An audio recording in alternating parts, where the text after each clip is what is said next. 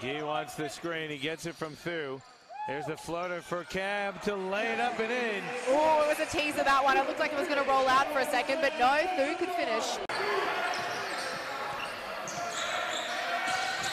Jesse splits the pick. Fade away.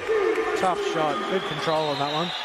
Yeah, you know you've got a big team when you uh, when you can sub out Lamar Patterson and Matt Wilson, and you've still got Josh Dirksen and Tommy Amara in there.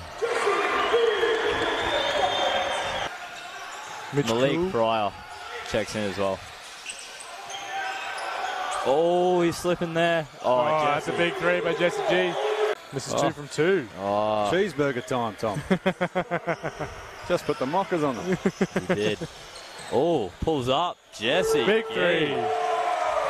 the weakest of defense of the night, and uh, you know they're the little things Too too, he's got to be better at.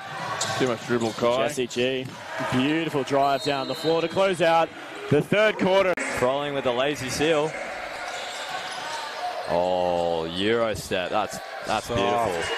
That's beautiful. Ghee feeling it. He's feeling it. He's feeling it, and the Wizards are feeling it.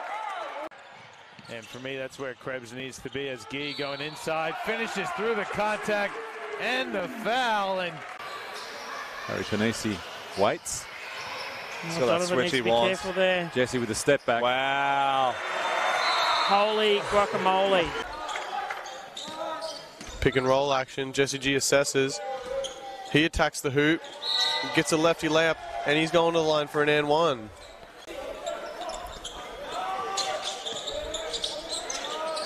Jesse Ghee tries to step back, and he knocks it down for three. Great tough shot, move. man. Yeah, really tough shot.